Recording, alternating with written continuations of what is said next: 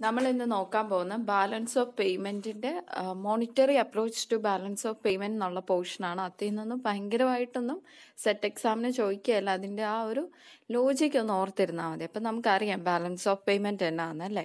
It is a statement that summarizes an economy's transaction with the rest of the world for a specified time period ഒരു specified time പീരീഡിൽ ഒരു എക്കോണമിയുടെ transaction മറ്റ് രാജ്യങ്ങളുമായിട്ട് അല്ലെങ്കിൽ with the rest of the വേൾഡുമായിട്ടുള്ള ട്രാൻസാക്ഷന്റെ ഒരു economic ട്രാൻസാക്ഷന്റെ ഒരു സമ്മറൈസ്ഡ് സ്റ്റേറ്റ്മെന്റ് ആണ് ബി ഒ പി എന്ന് പറയുന്നത്. അപ്പോൾ ബി ഒ പിക്ക് തന്നെ രണ്ട് അക്കൗണ്ട് ഉണ്ട്. ക്യാപിറ്റൽ അക്കൗണ്ട് കറണ്ട് അക്കൗണ്ട് അതിൽ കറണ്ട് അക്കൗണ്ട് എന്ന് പറയുമ്പോൾ transaction goods goods and services investment income current transfers അതൊക്കെയാണ് കറണ്ട് അക്കൗണ്ടിൽ വരുന്നത്. ഇനി ക്യാപിറ്റൽ അക്കൗണ്ടിലാണല്ലോ അത് മെയിൻലി ഇൻക്ലൂഡ്സ് ഫിനാൻഷ്യൽ ഇൻസ്ട്രുമെൻസിന്റെ ട്രാൻസാക്ഷനാണ് ക്യാപിറ്റൽ അക്കൗണ്ട് വരുന്നത്. ഇനി നമ്മൾ നോക്കാൻ പോകുന്നത് mechanism of monetary approach to the balance of payment adjustment ആണ്. Okay monetary approach to balance of payment is an explanation of the overall balance of payment it explains changes in B O P in terms of demand for and supply of money ഇപ്പം ഇവിടെ ഈ B O P വരുന്ന changes demand for മണിയും supply of മണിയുടെ ടേംസിലാണ് ഇവിടെ explain ചെയ്യുന്നത്. ഈ അപ്രോച്ച് പ്രകാരം a balance of payment deficit നമ്മൾ നേരത്തെ കണ്ട ഡെഫിസിറ്റ് ആവുന്ന എപ്പോഴാണ് എമ്പോർട്ട് കൂടുതലും എക്സ്പോർട്ട് കുറവാകുമ്പം ദർ വിൽ ഇതെന്ന് പറയുന്ന ഒരു മോണിറ്ററി ഫിലോമിനയാണ് അപ്പം അത് നമുക്ക് കറക്റ്റ് ചെയ്യണമെങ്കിൽ മോണിറ്ററി മെഷേഴ്സ് തന്നെ യൂസ് ചെയ്യണം. ഇനി ഇതിന് കുറച്ച് അസംഷൻസ് ഉണ്ട്. അതിലോട്ടൊന്നും ഞാൻ ഡീറ്റെയിൽ ആയിട്ട് പോകുന്നില്ല. തിയറി മാത്രമേ പറഞ്ഞു പോകുന്നുള്ളൂ. ഇപ്പം ഇവിടെ given the assumption that the monetary approach can be expressed in the form of the following relationship between the demand for and supply of money. അപ്പം demand for money supply of money വെച്ചാണ് നമ്മൾ ഇത് explain ചെയ്യുന്നതെന്ന് പറഞ്ഞായിരുന്നല്ലോ. അപ്പം demand four മണീനെ കാണിക്കുന്ന denote ചെയ്യുന്നതാണ് M D എന്ന് പറയുന്നത്. അത് ഇംഗത്തിന്റെയും പ്രൈസിന്റെ അതുപോലെ റേറ്റ് ഓഫ് ഇൻട്രസ്റ്റിന്റെ ഒരു സ്റ്റേബിൾ ഫങ്ഷൻ ആയിട്ടാണ് ഡിമാൻഡ് ഫോർ മണിയെ കാണിക്കുന്നത്. അതുകൊണ്ട് തന്നെ നമുക്ക് അതിന്റെ ഡെഫിനേഷൻ എഴുതാം. M D is equal to F of Y P I ഇനി സപ്ലൈ ഓഫ് മണി എന്ന് പറയുന്നത് മൾട്ടിപ്പിൾ ഓഫ് മോണിറ്ററി ബേസിസ് പല സംഭവങ്ങളെ ബേസ് ചെയ്താണ് സപ്ലൈ ഇരിക്കുന്നത് അതിന്റെ അകത്ത് മെയിനായിട്ട് വരുന്നതാണ് ഡൊമസ്റ്റിക് മണി ക്രെഡിറ്റും അതുപോലെ തന്നെ കൺട്രിയുടെ foreign exchange reserve domestic money ക്രെഡിറ്റിനെ denote ചെയ്യുന്ന ഡി എന്ന ലെറ്ററും ഫോറിൻ എക്സ്ചേഞ്ച് റിസർവിനെ ആർ എന്ന ലെറ്ററും ആയിട്ടാണ് കാണിക്കുന്നത്. അപ്പം എളുപ്പത്തിൽ എഴുതാൻ വേണ്ടി നമ്മൾ മണി സപ്ലൈനെ ഡി പ്ലസ് ആറിന് എഴുതുന്നുള്ളൂ. അല്ലാതെ മൾട്ടിപ്പിൾ മോണിറ്ററി ബേസിനെ ഒന്നും നമ്മളിവിടെ കൺസിഡർ ചെയ്യുന്നില്ല. അപ്പം ഒരു ഇത് ഇക്വിലിബറി ആകുന്ന സ്റ്റേറ്റ് എന്ന് പറഞ്ഞാൽ demand for money equal to supply of money ആകും എന്ന് പറഞ്ഞാൽ M D equal to M S അല്ലെ മറ്റൊരു വാക്കി പറഞ്ഞാൽ എം ഡി എന്ന് പറഞ്ഞാൽ ഡി പ്ലസ് ആർ ആണ് അല്ലെ? Credit plus foreign exchange reserve ഇനി A balance of payment deficit or surplus is represented by the changes in countries foreign exchange reserve. അപ്പോൾ ബാലൻസ് ഓഫ് പേയ്മെന്റ് ഡെഫിസിറ്റ് ആണോ surplus ആണോ എന്ന് നമ്മൾ കാണുന്നത് ആ കൺട്രിയുടെ ഫോറിൻ എക്സ്ചേഞ്ച് റിസർവിനെ ബേസ് ചെയ്താണ്. അപ്പം നമുക്ക് ആ change in foreign exchange reserve delta R എന്ന് പറയുന്നത് delta M D minus delta D എന്ന് പറയാം. എം ഡി എന്നാന്ന് നമ്മൾ കണ്ട ഡി എന്നാന്ന് കണ്ട. അല്ലെങ്കിൽ നമുക്ക് ഡെൽറ്റ ആറിനെ ബി എന്ന് ഡിനോട്ട് ചെയ്യാം. ബി എന്ന് പറഞ്ഞാൽ ബാലൻസ് ഓഫ് പേയ്മെന്റ് ആണ്. അപ്പം which is equal to the differences between the demand for money and change in domestic credit demand for മണിയും ചേഞ്ച് ഇൻ ഡൊമസ്റ്റിക് ക്രെഡിറ്റൂടെ കുറയ്ക്കുമ്പോൾ നമുക്ക് റിസർവ് കിട്ടും. Change in reserve change in റിസർവിനെ നമ്മൾ ബി ആയിട്ടും denote ചെയ്യും. അല്ലെങ്കിൽ ബാലൻസ് ഓഫ് പേയ്മെന്റ് ആയിട്ട്. ഇനി നമ്മൾ അങ്ങനെ ചെയ്തപ്പോൾ നമുക്ക് ബിയുടെ വാല്യൂ ഒരു നെഗറ്റീവാണ് കിട്ടിയെങ്കിൽ അത് ആറ് റെഡ്യൂസ് ചെയ്യുകയും ചെയ്യും. അതുപോലെ തന്നെ മണി സപ്ലൈയും കുറയ്ക്കും. എന്ന് പറഞ്ഞാൽ ഒരു ബാലൻസ് ഓഫ് പേയ്മെന്റ് ഡെഫിസിറ്റ് ആണെങ്കിൽ അതിന്റെ ബിയുടെ വാല്യൂ നെഗറ്റീവ് ബി ആയിരിക്കും. അപ്പോൾ റിസർവും റെഡ്യൂസ് ചെയ്യും മണി സപ്ലൈയും റെഡ്യൂസ് ചെയ്യും. ഇനി നേരെ തിരിച്ചാണെങ്കിൽ സർപ്ലസ് ആണെങ്കിൽ പോസിറ്റീവ് ബി ആയിരിക്കും. എന്ന് പറഞ്ഞാൽ റിസർവ് ഇൻക്രീസ് ചെയ്യും. അതോടൊപ്പം തന്നെ മണി സപ്ലൈ ഇൻക്രീസ് ചെയ്യും. ഇനി ബിയുടെ വാല്യൂ സീറോ ആണെങ്കിലോ എന്ന് പറഞ്ഞാൽ ബി ഒ പി ഇക്വിലിബ്രിയത്തിലായിരിക്കും അല്ലെങ്കിൽ ഡിസിക്വിലിബ്രിയം എന്നൊരു സംഭവം ആ ബി ഒ പിയിൽ സംഭവിക്കുന്നില്ല. ഇനി നമ്മൾ നോക്കാൻ പോകുന്നത് ഫിക്സഡ് എക്സ്ചേഞ്ച് റേറ്റിലെ ആണ്. ഫിക്സഡ് എക്സ്ചേഞ്ച് റേറ്റിൽ നമ്മൾ അസ്യൂം ചെയ്യാണ് M D equal to M S ആണ്. എന്ന് പറഞ്ഞാൽ B O P zero zero ആണെന്ന് പറഞ്ഞാൽ ഇക്വിലിബ്രിയം സ്റ്റേറ്റിലാണ് ഇനി നമ്മൾ സപ്പോസ് ചെയ്യുകയാണ് മോണിറ്ററി അതോറിറ്റി ഡൊമസ്റ്റിക് മണിയുടെ സപ്ലൈ ഇൻക്രീസ് ചെയ്തു. പക്ഷേ ഡിമാൻഡ് ഫോർ മണി വലിയ ചേഞ്ച് ഒന്നുമില്ല. അപ്പം സപ്ലൈ ഇൻക്രീസ് ചെയ്യുമ്പോഴത്തേക്ക് എന്ത് സംഭവിക്കും? ആ M S greater than M D ആവും.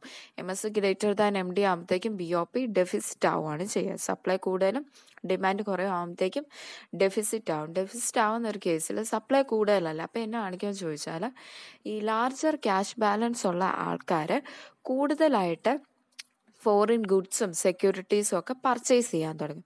അപ്പോൾ അങ്ങനെ പർച്ചേസ് ചെയ്യുന്നതിന്റെ ഭാഗമായിട്ട് അതിന്റെ പ്രൈസ് ഭയങ്കരമായിട്ട് കൂടും. പ്രൈസ് കൂടുമ്പോഴത്തേക്കും പ്രൈസും കൂടും. അതുപോലെ തന്നെ അങ്ങനത്തെ ഗുഡിന്റെ ഗുഡ്സിന്റെ അതുപോലെ തന്നെ ഫോറിൻ അസെറ്റ്സിന്റെ ഇമ്പോർട്ടും ഇങ്ങോട്ട് ഭയങ്കരമായിട്ട് കൂടും. അപ്പോൾ ഇങ്ങനെ ഇമ്പോർട്ട് കൂടുമ്പോഴത്തേക്കും എന്ത് സംഭവിക്കും? നമ്മൾ പഠിച്ചായിരുന്നല്ലേ? കറണ്ട് അക്കൗണ്ടിലും ക്യാപിറ്റൽ അക്കൗണ്ടിലും അതിനനുസരിച്ച് എക്സ്പെൻഡിച്ചർ ഇൻക്രീസ് ചെയ്യും. അപ്പോൾ ഇങ്ങനെ സംഭവിക്കുമ്പോഴത്തേക്കും അവിടെ ബി ഒ പി ഡെഫിസിറ്റ് സംഭവിക്കുകയാണ് ചെയ്യുന്നത്. ഇനി ഈ ഡെഫിസിറ്റിനെ ഓവർകം ചെയ്യാനായിട്ട് ഒരു ഫിക്സഡ് എക്സ്ചേഞ്ച് റേറ്റ് മെയിന്റെയിൻ ചെയ്യാനായിട്ട് മോണിറ്ററി മോണിറ്ററി അതോറിറ്റി എന്ത് കാണിക്കുമെന്ന് ചോദിച്ചാൽ അവരുടെ കയ്യിലുള്ള ആ ഫോറിൻ എക്സ്ചേഞ്ച് റിസർവ് സെല്ല് ചെയ്ത് ഡൊമസ്റ്റിക് കറൻസി വാങ്ങും. ഓക്കെ ആണോ? അപ്പം ഫോറിൻ എക്സ്ചേഞ്ച് റിസർവ് സെല്ല് ചെയ്യുന്ന വഴി നമ്മുടെ രാജ്യത്തുണ്ടായിരുന്ന ആ ഒരു ഫോറിൻ എക്സ്ചേഞ്ച് റിസർവിന്റെ ഔട്ട്ഫ്ലോ ആണ് സംഭവിക്കുന്നത്. ഔട്ട് ഫ്ലോ സംഭവിക്കുമ്പോഴത്തേക്കും റിസർവ് എന്ന് പറയുന്ന കുറയും. And in domestic money supply അപ്പോൾ റിസർവ് കുറയും. അതുപോലെ തന്നെ ഡൊമസ്റ്റിക് മണി സപ്ലൈയും കുറയും. അപ്പോൾ ഇങ്ങനെ വരുമ്പോഴത്തേക്കും എം എസ് എം ഡി ഒഡ് ഈക്വൽ ആവും. ബി ഒ പി വീണ്ടും ഇക്വിലിബ്രിയം സ്റ്റേറ്റിലോട്ട് അറ്റൈൻ ചെയ്യുകയാണ് ചെയ്യുന്നത്. ഇനി നേരെ തിരിച്ച എം എസ് കുറവ് മണി സപ്ലൈ കുറവാണ് എം ഡി എ കാട്ടിലുമെങ്കിൽ എന്ത് സംഭവിക്കും? ബി ഒ പി സർപ്ലസ് ആവും. അപ്പം ആൾക്കാർ എന്നാ ചെയ്യുമെന്ന് ചോദിച്ചാൽ പീപ്പിൾ അക്യൂർ ഡൊമസ്റ്റിക് കറൻസി ആ ആൾക്കാർ ഡൊമസ്റ്റിക് കറൻസി അക്യൂർ ചെയ്യാനായിട്ട് തുടങ്ങും. കാര്യം സപ്ലൈക്കാട്ടിലും കൂടുതൽ ഡിമാൻഡാണ്. അപ്പം അവർ ഗുഡ്സ് ആൻഡ് സർവീസസ് ഫോറിനേഴ്സിന് സെല്ല് ചെയ്ത് ഡൊമസ്റ്റിക് കറൻസി അക്വയർ ചെയ്യും. അപ്പോൾ ഇങ്ങനെ വരുമ്പോഴത്തേക്കും അതുപോലെ തന്നെ അവർ അഡീഷണൽ മണി ഡിമാൻഡ് കൂടുതലും സപ്ലൈ കുറവല്ലേ? അപ്പം അവർ വേറെ ഒരു മാർഗം കണ്ടെത്തുന്നതെന്ന് ചോദിച്ചാൽ they will also seek to acquire additional money balances additional money balances acquire ചെയ്യാനായിട്ട് ശ്രമിക്കുക. എങ്ങനെയാണ് അവരുടെ ഇംഗത്തിൽ വെച്ച് നോക്കുമ്പോൾ അവരുടെ ആ എക്സ്പെൻഡിച്ചറൊക്കെ റെസ്ട്രിക്റ്റ് ചെയ്തുകൊണ്ട്. ഓക്കെ അപ്പം monetary authority on its part അവരുടെ ഭാഗത്ത് നിന്ന് തന്നെ കാണിക്കും. ഫോറിൻ എക്സ്ചേഞ്ച് കറൻസീസ് ഒക്കെ പർച്ചേസ് ചെയ്യും. In exchange of domestic currency domestic currency കൊടുത്തിട്ട് ഫോറിൻ എക്സ്ചേഞ്ച് കറൻസി ഒക്കെ വാങ്ങിച്ചു വെക്കും. അങ്ങനെ വരുമ്പോഴത്തേക്കും inflow of foreign exchange reserve ആവും.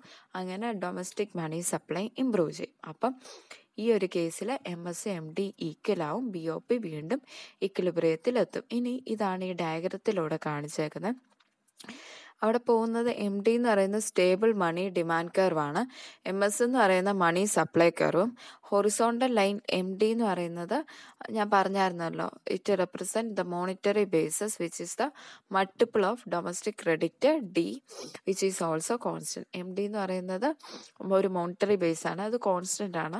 അതാണ് ഒരു ഹൊറിസോണ്ടൽ ലൈനായിട്ട് പോകുന്നത്. ഇനി ഡയഗ്രം ഒന്ന് സെറ്റിന് ചോദിക്കുകയില്ല തിയറി പറഞ്ഞപ്പോൾ ഞാൻ ചുമ്മാ ഒന്ന് അറിഞ്ഞിരിക്കാൻ വേണ്ടി പറയുന്നതേ ഉള്ളൂ കേട്ടോ. ഇനി ഇവിടെ domestic components of money supply എന്ന് പറയുന്നത് supply that is why M S curve start from point C അപ്പം ഞാൻ പറഞ്ഞായിരുന്നു മണി സപ്ലൈ എന്ന് പറയുന്ന പല ഫാക്ടേഴ്സിനെ ആശ്രയിച്ചിരിക്കുന്നു അല്ലേ? അപ്പം അതുകൊണ്ടാണ് നമ്മുടെ ആ മോണിറ്ററി ബേസിൽ നിന്ന് എം എസ് സ്റ്റാർട്ട് ചെയ്യാൻ കാരണം. ഓക്കെ ആണോ? ഇനി എം ഡിയും എം എസും ഇന്റർസെക്ട് ചെയ്യുന്ന ആണ് ഇ അവിടെ ആയിരിക്കും കൺട്രി ഇക്വിലിബ്രിയത്തിലെത്തുക അപ്പോൾ ഇവിടെ കണ്ട ഇ എന്ന പോയിന്റിൽ അവിടെ റിസർവ് എന്ന് പറയുന്നത് ഒ ആർ ആയിരിക്കും. ഓക്കെ ഇനി M S grey less than M D ആണെങ്കിൽ അവിടെ സർപ്ലസ് ആയിരിക്കും. സർപ്ലസ് എന്ന് പറയുന്നത് എസ് പി ലെവൽ ഓഫ് ആയിരിക്കും. അവിടെ മണി സപ്ലൈ കുറവും എം ഡി കൂടുതലാണ്. അവിടെ സർപ്ലസ് സർപ്ലസ് എന്ന് പറയുന്ന പി എസ് ആ. അപ്പോൾ അവിടുത്തെ റിസർവ് എന്ന് പറയുന്ന ഒ ആർ വണ്ണേ ഉള്ളൂ. ഇനി എം എസ് കൂടുതലും എം ഡി കുറവാണെങ്കിൽ എന്തുവാ? ഡെഫിസിറ്റ് വരും. അപ്പോൾ ഡെഫിസിറ്റ് എന്ന് പറയുന്നത് എഫ് ടി ആണ്. അപ്പോൾ അവിടുത്തെ റിസർവ് എന്ന് പറയുന്ന ഒ ആർ ടു ആയിരിക്കും.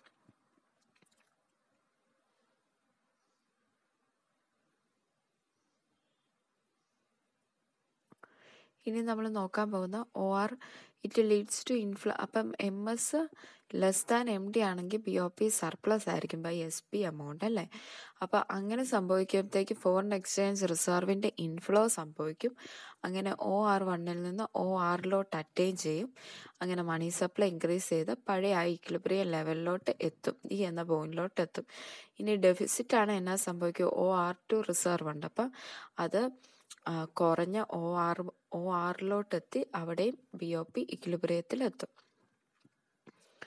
ഇനി ഒരു സിസ്റ്റം ഓഫ് ഫ്ലെക്സിബിൾ അല്ലെ ഫ്ലോട്ടിംഗ് ഫ്ലോട്ടിംഗ് എക്സ്ചേഞ്ച് റേറ്റ് ആണ് ബി ഈക്വൽ ടു സീറോ എന്ന് പറഞ്ഞാൽ balance of payment ഇക്വിലിബ്രിയത്തിലാവുമ്പോൾ there is no change in foreign exchange reserve നമുക്കറിയാം അല്ലേ? B is equal to zero ആകുമ്പോൾ റിസർവ് ആ ഒ ആർ എമൗണ്ട് തന്നെ ആയിരിക്കും പക്ഷേ ബി ഒ പി ഡെഫിസിറ്റോ സർപ്ലസോ ആകുമ്പം changes in the money and exchange rate ആയിരിക്കും ഒരു അഡ്ജസ്റ്റ്മെന്റ് പ്രോസസ്സ് സംഭവിക്കുക. ഇവിടെ ഫ്ലെക്സിബിൾ എക്സ്ചേഞ്ച് റേറ്റിൽ അവിടെ ഇൻഫ്ലോ അല്ലെങ്കിൽ outflow of foreign exchange reserve അല്ല ഇമ്പോർട്ടന്റ് റോൾ വഹിച്ച് ബി ഒ പിന്നെ ഇക്വിലിബ്രിയത്തിലോട്ട് എത്തുന്ന ഡിമാൻഡ് ഫോർ മണിയും എക്സ്ചേഞ്ച് റേറ്റുമാണ് ഫ്ലോട്ടിംഗ് അല്ലെങ്കിൽ ഫ്ലെക്സിബിൾ എക്സ്ചേഞ്ച് റേറ്റിൽ ബി ഒ പിന്നെ ഇക്ലിബറിയത്തിലേക്ക് നയിക്കുന്നത് പിന്നെ ഇതിനെക്കുറിച്ച് ക്രിറ്റിസിസം ഉണ്ട്. അത് മെയിൻലി അസംസൻസിന്റെ അസംഷനെ നെഗറ്റീവ് ചെയ്ത് അല്ലെങ്കിൽ അതൊന്നും പാലിക്കപ്പെടുന്നില്ല എന്നുള്ള ഇതിലാണ്. ഡിമാൻഡ് ഫോർ മണി എന്ന് പറയുന്നത് സ്റ്റേബിൾ അല്ല. Fuller employment situation policy possible അല്ല. പിന്നെ വൺ പ്രൈസ് ലോ എന്നൊരു സംഭവം ഉണ്ട്. എല്ലാ രാജ്യത്തും ട്രാൻസാക്ഷൻ കോസ്റ്റ് ഒഴിച്ച് ബാക്കി എല്ലാ സംഭവത്തിനും പ്രൈസ് സെയിം ആണെന്നൊക്കെ ഒരു അസംഷൻ ഉണ്ട്. അത് ഇൻവാലിഡ് ആണ്. മാർക്കറ്റ് ഇംപ്ര ഇംപെർഫെക്ഷൻസ് ഉണ്ട്. സ്റ്റെറിലൈസേഷൻ എന്ന് പറയുന്നത് ഈ ഒരു ഇതിൽ പോസിബിൾ അല്ല. പിന്നെ link between B O P money സപ്ലൈയും അത്ര വാലിഡ് ആയിട്ട് നമുക്ക് പറയാൻ പറ്റുകയില്ല ഷോർട്ട് റണ്ണിലെ കാര്യങ്ങൾ നെഗ്ലക്റ്റ് ചെയ്യുന്നുണ്ട്. അതുപോലെ തന്നെ മറ്റു പല ഫാക്ടേഴ്സും ഇവിടെ ഇൻഫ്ലുവൻസ് ചെയ്യുന്നുണ്ട്. അതിനെക്കുറിച്ചൊന്നും പറയുന്നില്ല. എക്കണോമിക് പോളിസിയെക്കുറിച്ചും ഇവിടെയൊന്നും പറയുന്നില്ല.